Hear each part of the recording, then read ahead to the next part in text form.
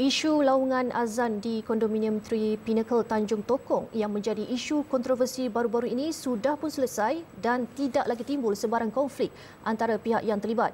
Justru Ketua Polis Pulau Pinang Datuk Kau Kok Chin memberi amaran kepada semua pihak agar tidak terus mensensasikan isu tersebut yang boleh menimbulkan kegusaran awam dan membangkitkan kemarahan antara kaum.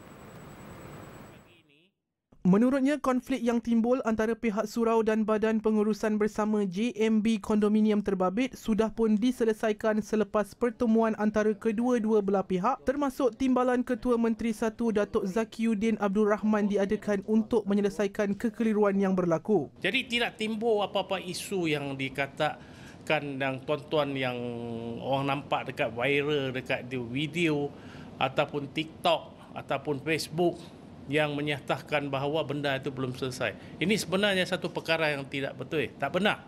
Tak benar. Yang boleh, kalau kita lihat ni, keadaan ini boleh menimbulkan kegusaran awam ha?